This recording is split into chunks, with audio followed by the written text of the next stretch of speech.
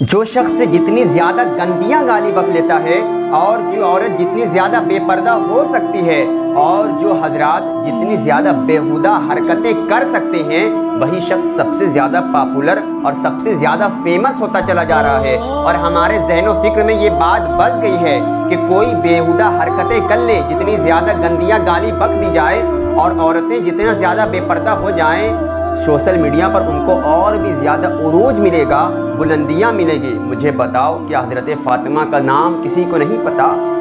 हज़रत उम कुलसूम, हज़रत आयशा सिद्दीक़ा, हज़रत सगरा फ़ातिमा और तो और हज़रत राबिया बसरी, ये वो लोग हैं कि किसी गैर महरम ने आज तक इनको देखा ही नहीं बेपर्दा। लेकिन इनका नाम सुबह क़यामत तक लेने वाले लोग लेते रहेंगे और कोई मिटा नहीं सकता। लेकिन आज हमारे ऊपर दिलों पर हैवानियत का पर्दा इस कदर जम गया है कि आज हम सब कुछ भूल गए। सब कुछ भूल गए। अरे, गैरों को तो छोड़ दो। हमारा तो अकीदा इस बात पर था कि हमें मरने के बाद हिसाब देना है। क्या कुरान की इस आयत करीमा को हम भूल कर रह गए? वमैयामल मिसकाल ज़र्रतिन खैरन यरा। वमैयामल मिसकाल ज़र्रतिन शर्रन यरा। कि अगर ज़र्रा बराबर भी नेकी करोगे तो अल्लाह तबारक व ताली तुम्हें उसका भी बदला देगा। और अगर एक ज़र्रा के बराबर गुनाह करोगे तो अल्लाह तुम्हें उसका भी बदला देगा। क्या ये बात को हम भूल गए?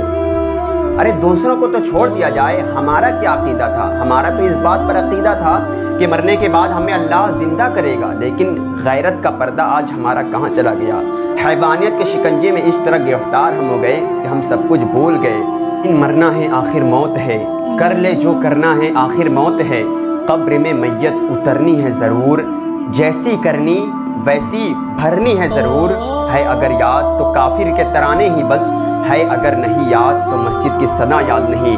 बिनते हवा को नचाते हैं सरेआम महफिल में। कितने संग दिल हैं कि रस्मी हया याद नहीं।